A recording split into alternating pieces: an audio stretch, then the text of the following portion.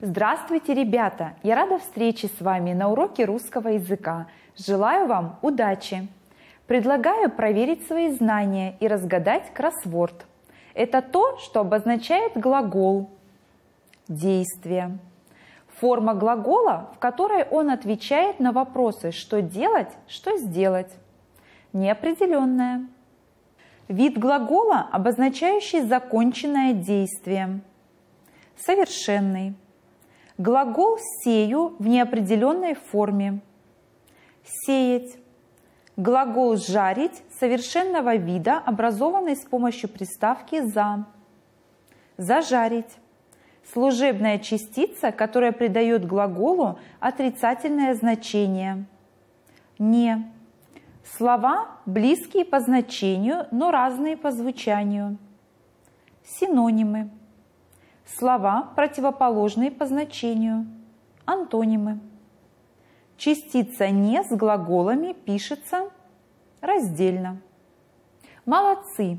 Прочитайте слово, которое получилось по вертикали. Спряжение – это ключевое слово нашего урока.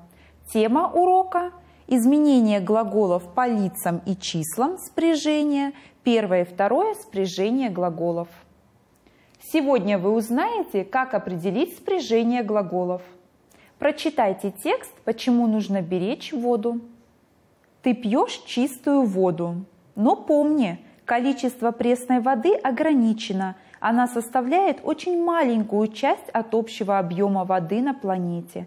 У более миллиарда людей в странах Африки и некоторых азиатских странах нет постоянного доступа к чистой воде. Имеющиеся там водоемы ужасно загрязнены, воду из них пить нельзя – Планета стоит на грани водного кризиса. Ребята, почему нужно беречь воду? Потому что пресной воды очень мало на Земле. Если мы будем ее загрязнять, не будем экономить, то в скором времени воды, пригодной для питья, не останется. Определите время глаголов «пьешь» и «стоит». Выделите окончание. Что делаешь? Пьешь. Настоящее время окончание «ешь». Что делает? Стоит. Настоящее время окончание ит. Поставьте эти глаголы в неопределенную форму. Пить – стоять. Просклоняйте эти глаголы в единственном и во множественном числе.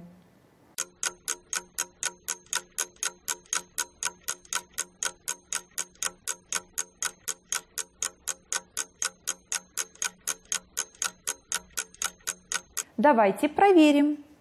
Я пью, окончание ю. Я стою, окончание ю. Ты пьешь, окончание ешь. Ты стоишь, окончание иш. Он пьет, окончание йод. Он стоит, окончание ит. Мы пьем, окончание ем. Мы стоим, окончание им. Вы пьете, окончание йоте.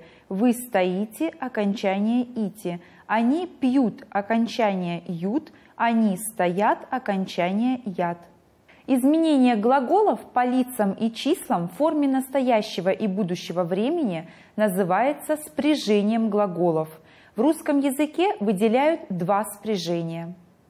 Глаголы первого спряжения имеют окончание ешь, ешь, ед, йод, ем, ем, ете, йоте, ут, ют – Глаголы второго спряжения имеют окончание иш, ит, им, ити, ат, яд. Окончания глаголов в настоящем и будущем времени – это личные окончания. Давайте сделаем вывод. Глаголы настоящего времени спрягаются, то есть изменяются по лицам и числам.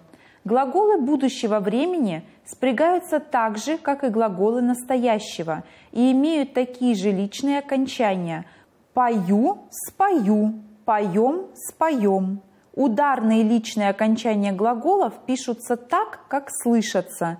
В зависимости от личных окончаний глаголы относятся к первому или второму спряжению. Выполним задание.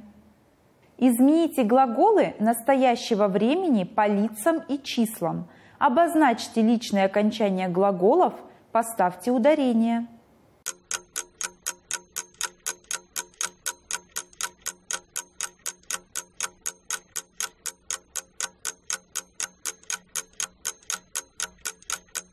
Проверим, так ли у вас получилось. Первое лицо – единственное число – иду – окончание «у» под ударением. Молчу, окончание «у» под ударением. Первое лицо – множественное число. Идем, окончание «ем» под ударением. Молчим, окончание «им» под ударением. Второе лицо – единственное число. Идешь, окончание «ешь» под ударением.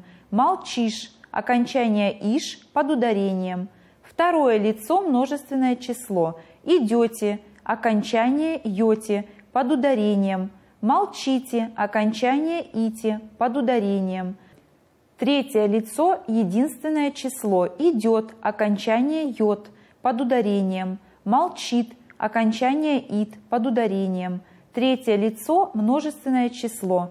Идут, окончание «ут» под ударением. Молчат, окончание «ат» под ударением. Спряжение глаголов с ударными окончаниями определяются по окончанию. Выполним задание. Измените глаголы «спеть» и «постоять» по лицам и числам.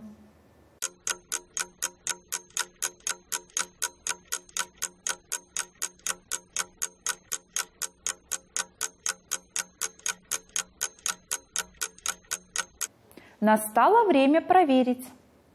Первое лицо спою, постою, споем, постоим.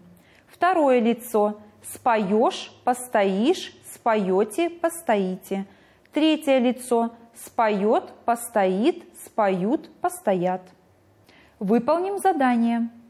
Прочитайте словосочетание, определите лицо, число и спряжение глаголов. Распределите словосочетание на две группы по спряжениям глаголов.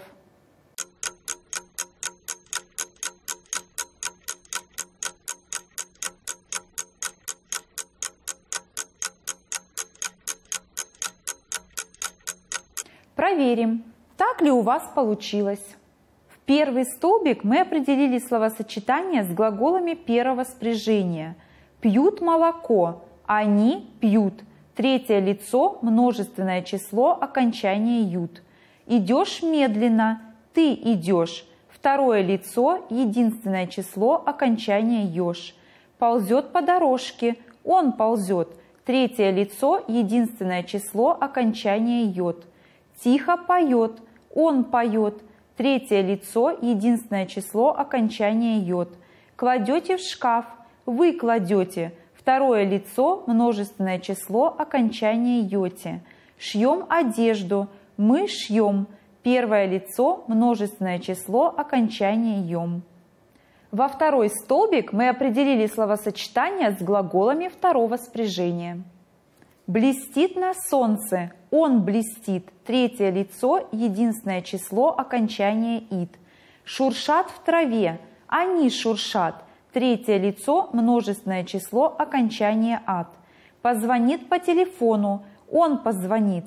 Третье лицо, единственное число, окончание ид.